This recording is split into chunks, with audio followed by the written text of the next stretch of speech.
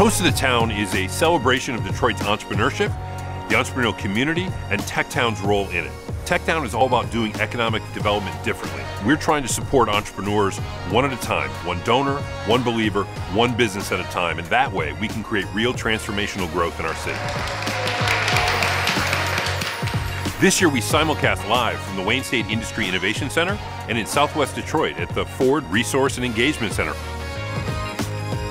Wonderful to be together with everybody and uh, with the innovators of the future and the entrepreneurs of tomorrow to see how we could all work with one another and feed off one another to uh, make Detroit uh, the great city that it is.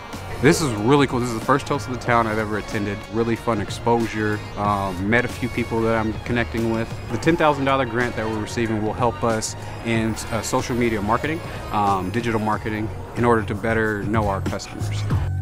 Toast the Town is also our biggest fundraiser of the year. We depend not only on federal and state grants and institutional donors like foundations, but also grassroots individuals who are fueling the small businesses here in the city.